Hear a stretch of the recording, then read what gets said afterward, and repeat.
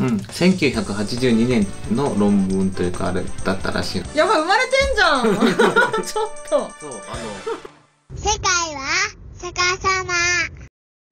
はいこんにちは世界は逆さまのひろきです。あっこです。え2022年はい。初めてのはい。動画、えー今年もどうぞよろしくおお願いしますということで、はい。今年最初の話題は、はい。い、わゆる回復期リハビリのうん。6ヶ月の壁うん。についてお話ししたいと思います、はい。うん、あのよくさ、うん。回復期リハビリで、うん。大体こう6ヶ月ぐらいまでは回復するけれども、それ以降はっていうようなねうん。話をよく聞くと思うんですけれども、うん。まあ最初にえ結論を言ってしまうとまあそれは嘘ですよと。嘘だよ。嘘だよと。まああんまり正確ではないっていう言い方の方がおそらく妥当なんだと思うんだけど。その6ヶ月でうん。回復は止まるよっていうのは正確ではないってことね。そうそうそう。まあでそういうことを言うとさ割となんだろう。こう精神論っぽくなるけれども。えっとねまずそういう精神論じゃない割とこうエビデンスのある話をしたいと思います、はい。えーというわけでえっとねこちら、えーと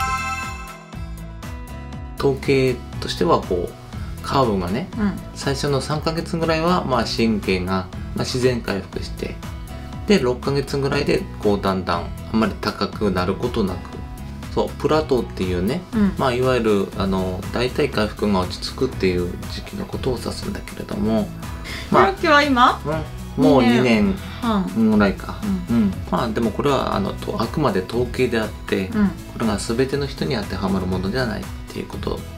まあこれはさこのこう回復曲線大体半年まあ6ヶ月ぐらいで、うん。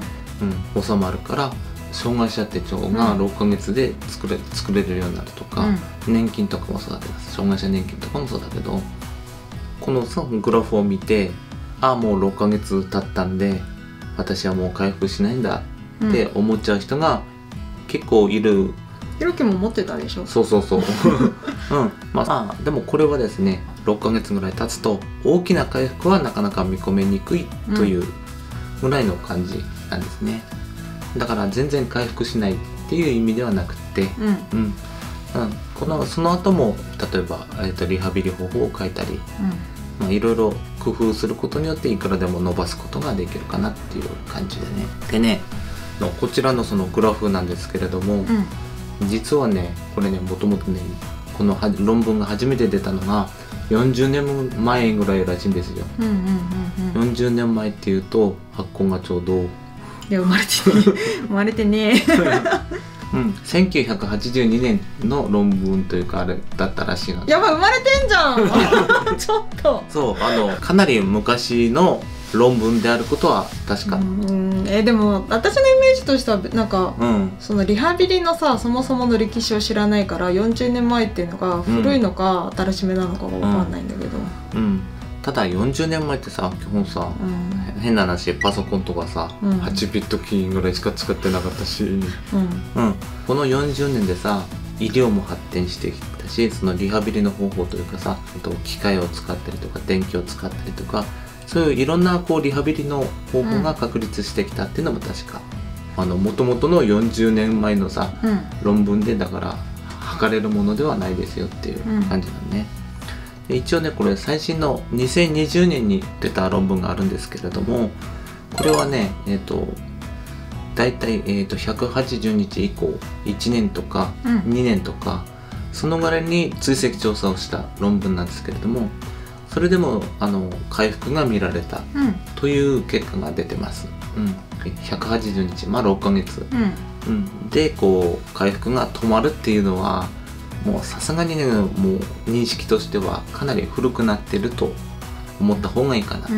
うん、ただそれやっぱりこう6ヶ月で回復が止まるって言われるとやっぱりこう落ち込んだりリハビリのこうモチベーションが出なくなる人が結構多いのは確かだと思う。私自身がそうだったしねでもその180日のうん。間はやっぱりそのリハビリの効果が出やすいんでしょ、出やすい確かに、うん。だからなるべくやっぱその180日に集中してリハビリをしたがした方がいいっていうのは正しい。それは正しい。うん。で、えー180日経つと特に日本では、うん。まあそれで大体回復期リハビリの入院がさうん。終わる時期だからリハビリをじ自分でやったりあるいは自費のリハビリをやったりしつつまたさらなるねうん。回復に向けてこう体を作っていくっていうのがいいやり方かなと思います、うんうん、私もさうん。こうまあ180日かな？大体、えー、と入院してたのはその後の方がいろんなこう新しい刺激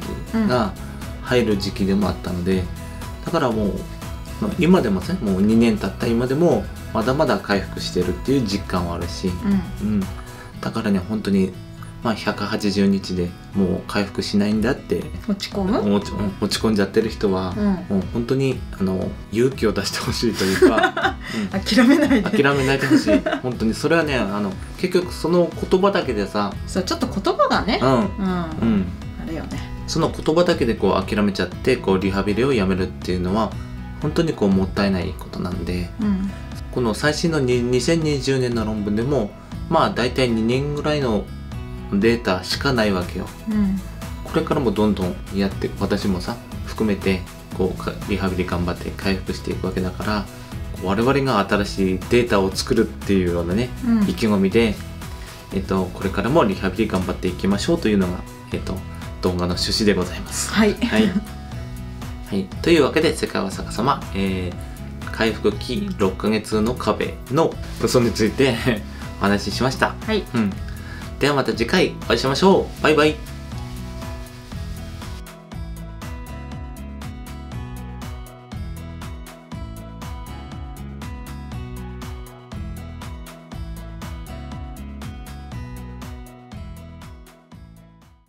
世界は逆さまでは脳出血を発症し半身麻痺になったヒロキのリハビリ記録やリアルな生活を発信していきますよろしければチャンネル登録お願いします。ではまた次の動画でお会いしましょう。バイバイ。バイバイ